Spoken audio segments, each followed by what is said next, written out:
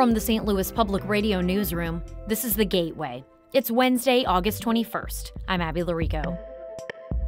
When Missouri lawmakers expanded tax credits for donations to crisis pregnancy centers, they had certain services in mind. They said we envisioned people were going to be, you know, getting diapers, getting counseling, getting, you know, help that, you know, that they need in the state. But since the overturning of Roe v. Wade, those organizations are focusing on stopping abortions in neighboring states. That story coming up after the news on the Gateway. A St. Louis County man on death row for a crime he says he did not commit will get another chance to prove his claims. Attorneys for Marcellus Williams will be in court today asking a judge to throw out his conviction for a 1998 murder. They argue that new testing done on DNA found the murder weapon excludes Williams as the killer. This is the first time that St. Louis County Prosecutor Wesley Bell has used a Missouri law designed to give prosecutors the authority to reverse what they believe are wrongful convictions. Williams is scheduled to be executed on September 24th. The St. Louis chapter of the NAACP is urging federal education officials to look into the low reading scores of children in high poverty areas. St. Louis Public Radio's Lacretia Wimbley reports. The NAACP filed a complaint with the U.S. Department of Education asking it to investigate low literacy levels in more than 30 schools in the St. Louis region. Chapter President Adolphus Pruitt says he wants the department to help schools boost literacy scores for black and brown students. He says both public school systems and charter schools could better serve kids. We have de- developed a uh, matrix of what we think all school districts are now and where we think they need to incrementally be over the next five years to solve this problem. He says the department's Office of Civil Rights should look into the disparity between how students in more affluent areas perform compared to others. I'm Lacretia Wimbley, St. Louis Public Radio. The longtime leader of the Convention and Visitors Commission in the St. Louis region is retiring a year early with significant benefits. Kitty Ratcliffe is the outgoing president of Explore St. Louis. She will receive a year's salary in a lump sum and extra payments for bonuses she would have received. It totals more than half a million dollars, according to an agreement with the tourism agency. Ratcliffe will also receive contributions to her pension, health insurance for the next year, and the title of the car she'd been driving. She's leaving months after asking for more than $30 million in additional funding to complete an expansion of America Center, which already cost $210 million. Bob Wallace is a former attorney for Explore St. Louis and began as interim president last week. Ratcliffe could not be reached for comment. Both major candidates for Missouri governor want to boost pay for Children's Division employees investigating child abuse. Currently, the starting salary for investigators looking into alleged child abuse and neglect is around $44,000. Both Republican Mike Kehoe and Democrat Crystal Quade say they want to significantly boost that figure if they're elected governor. Kehoe says if he's elected in November, he'll push for sustainable Children's Division salary increases our most vulnerable citizens are our children, and so making sure that they're in a safe environment is uh, very much a priority to my, me. Quade says the inability to raise children's division salaries is part of a broader GOP failure of managing state government all of our surrounding states they pay so much more money for these individuals who are keeping track of some of the most important and vulnerable people in our state. I feel like that lack of getting that done falls into this larger narrative of these guys just simply not caring about government working. Children's Division salaries did go up considerably during Governor Mike Parson's administration, but he's generally preferred across the board salary increases as opposed to targeting specific agencies. One of the highest costs of doing business is health insurance for employees. St. Louis Public Radio's Eric Schmid reports on how one local company is working to reduce that cost for companies and provide better care for people. Healthcare is big business. The U.S. spends more than $4 trillion on it every year, according to the American Medical Association. At the same time, many individuals avoid care, fearing bills that could bankrupt them. Adam Berkowitz is the founder and president of Simpara, a St. Louis based benefits consulting firm.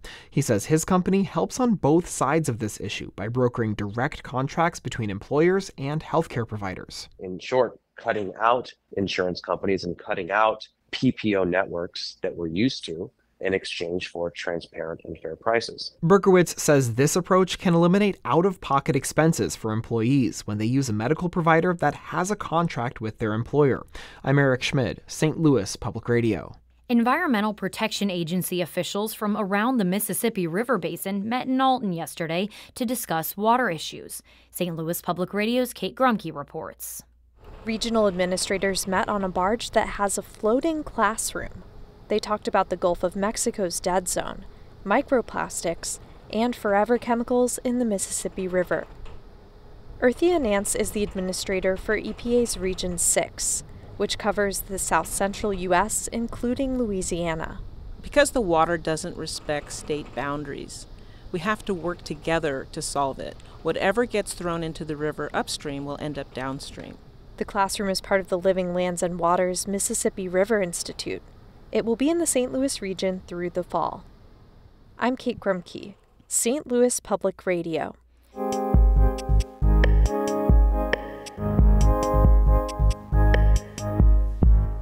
The Missouri legislature expanded a tax credit for people who donate to crisis pregnancy centers right around the same time that the Supreme Court overturned Roe v. Wade. The resulting prohibition of nearly all abortions in Missouri led those pregnancy centers to take on a new tactic, taking their efforts to other states. St. Louis Public Radio's Jonathan Ahl spoke with Jeremy Kohler of ProPublica, who investigated how these taxpayer subsidized groups are operating. I started to examine what some of the larger nonprofits in this program were doing with their money. It didn't take long to come across Coalition Life, which calls itself America's largest sidewalk counseling, professional sidewalk counseling organization. They pay people to stand outside abortion centers in Illinois and in Kansas and approach people as they enter for abortions or for other services and convince them to turn around um, and they say that they are successful often. They refer people back to their headquarters. They have a small pregnancy center in Maryland Heights um, with, with a sonogram room and a, a counseling room. And, and this is in the post Roe era, this is how this group operates. Did you get any sense that anybody in with Missouri government sees that as a problem? To qualify as one of the organizations that can use the tax credit, um, can raise money with the tax credit, you have to certify that you're providing um, services that help pregnant women and families. The law doesn't specify where this is done or even how it's done. I did go back and talk to some legislators about what they thought the money was going to be spent on. You know, they, they said we envisioned people were going to be, you know, getting diapers, getting counseling, getting, you know, help that, you know, that they need in the state. Um, did not anticipate that groups would be going to fight abortion in Missouri's border states. Making sure that certain abortion rights are enshrined in the Missouri Constitution will be on the ballot in November. If that passes, does that dramatically change this situation? It may if it allows um, abortion clinics to reopen in Missouri. Um, if, if abortion is available in Missouri, I think this group would probably operate more in the state. It, it, it's hard to know. They, they have Coalition Life placed radio ads um, trying to convince people not to sign the ballot um, that voters will vote on in in November uh, uh, about uh, expanding abortion rights in Missouri. So their their political activity on this they view as consistent with their mission and a and a, a good use of their money, and they acknowledge that they are subsidized by Missouri taxpayers. Does this mean that Missouri taxpayers may be paying for political activities by by a group? Yeah, I don't see how you could not say that. Um, Missouri taxpayers are certainly subsidizing this group, which has purchased advertisements trying to convince people, you know, to take a political action. So it certainly seems that way.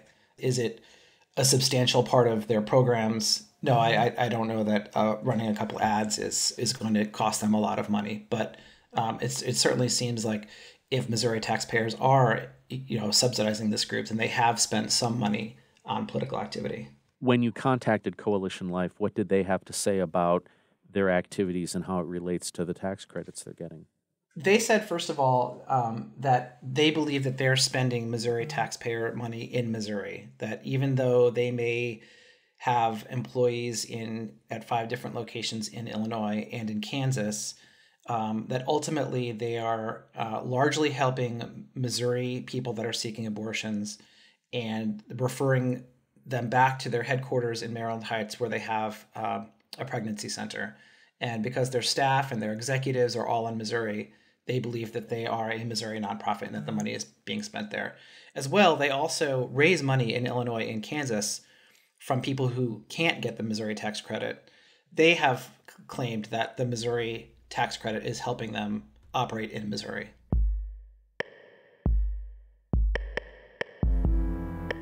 That was Jeremy Kohler, a reporter with ProPublica, speaking with St. Louis Public Radio's Jonathan Ahl. You can read his full report on our website, stlpr.org. The Gateway is a production of St. Louis Public Radio, a listener supported service of the University of Missouri St. Louis. Music by Ryan McNeely of Adult Fur. I'm Abby Llorico, and from the St. Louis Public Radio newsroom, this has been The Gateway.